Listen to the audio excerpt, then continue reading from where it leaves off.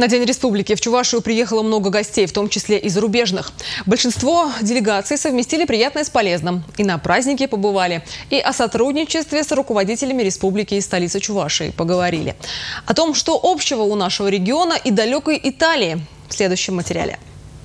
Предприниматели Италии осудили санкции в отношении России. Итальянцы намерены опротестовать санкции ЕС против России. Такими заголовками пестрит интернет. Пожалуй, лучшее подтверждение искренности высказываний большая итальянская делегация, которая прибыла в столицу Чувашии накануне Дня Республики. Добрый день, э, уважаемые гости. Вы привезли к нам не только теплую, но и жаркую погоду. Мы говорим, что Чебоксары – это сердце России, в центре России находимся. Именно Чебоксары стали столицей релейной электротехнической промышленности. Кроме того, здесь в городе Спутнике Новочебоксарске развито машиностроение, пищевая и химическая промышленности. Строительство, рассказал гостям Леонид Черкесов. По результатам прошлого года Чувашия заняла первое место, а в Приволжском федеральном округе по объему введенного жилья на одного человека. Мы знаем, что итальянцы хорошие строители, использующие новые технологии. Я думаю, что ваш опыт здесь пригодится. А самое главное, наверное, это производство новых э, по новым технологиям строительных материалов. Я представляю группу «Звир». Это предприятие производит э, химическую продукцию для строительства. А мы э, познакомились в один из этих дней с партнером, который заинтересован в нашей продукции. И я надеюсь, что это сотрудничество принесет свои плоды. Мы произвели встречу с Залкетра.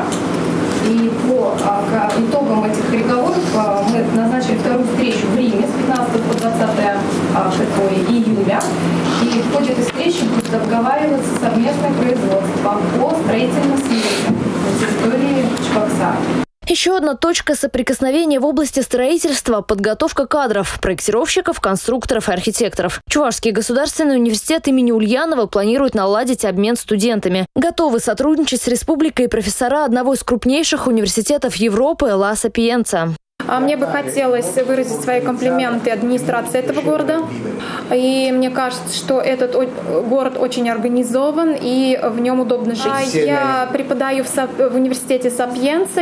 Мы э, даем знания э, как с точки зрения э, проектирования, так и с точки зрения новых технологий в строительстве.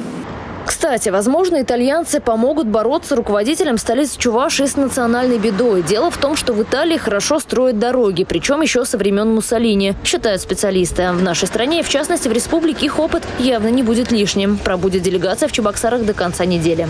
Санкции, да, конечно, это большая проблема сейчас, но Италия, э, сейчас мы очень много работали здесь, в России, с наше итальянское посольство, и мы должны очень много работать против санкций, потому что это наша миссия здесь. Да, итальянские бизнесмены, естественно, против, потому что это никому не ведет э, положительную сторону, и мы стараемся все равно развивать отношения коммерческие, поэтому вот наш бизнес-визит, мы хотим им показать, что Италия настроена на отношения